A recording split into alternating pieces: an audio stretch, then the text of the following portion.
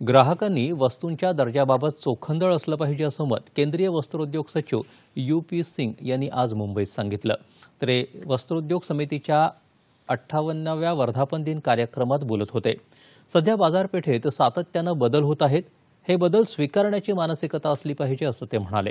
या क्षेत्रातील वैधानिक संस्था स्वावलंबी व्हाव्यात असाच केंद्र सरकारचा प्रयत्न असल्याचं त्यांनी सांगितलं. खेळणी उद्योगाला पंतप्रधानांनी दिलेल्या प्रोत्साहनामुळे सध्या आयातीपेक्षा निर्यातीचं प्रमाण जास्त आहे. गेल्या आर्थिक वर्षात चव्वेचाळीस पूर्णांक तीन टक्के अब्ज अमेरिकन डॉलर्स किमतीची वस्त्र निर्यातीसाठी पाठवण्यात आली अशी माहिती त्यांनी दिली.